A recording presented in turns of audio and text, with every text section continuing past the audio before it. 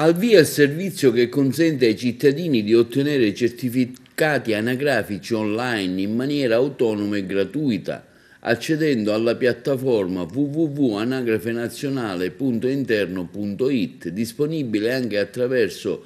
l'indirizzo www.anagrafenazionale.gov.it. Si completa quindi un percorso che aveva visto nel gennaio del 2021 l'ingresso del Comune nella grafa nazionale della popolazione residente, la banca dati nazionali nella quale confluiscono progressivamente le anagrafi comunali. I cittadini iscritti all'anagrafe possono scaricare 14 certificati per proprio conto per una componente della propria famiglia, senza bisogno di recarsi allo sportello anagrafico di nascita, anagrafico di matrimonio, di cittadinanza, di esistenza in vita, di residenza, di residenza aire, di stato civile, stato di famiglia, residenza in convivenza, stato di famiglia aire, stato di famiglia con rapporti di parentela, di stato libero, anagrafe di unione civile, di contatto, di convivenza. Per i certificati digitali non si deve pagare il bollo, essi quindi sono gratuiti, disponibili sulla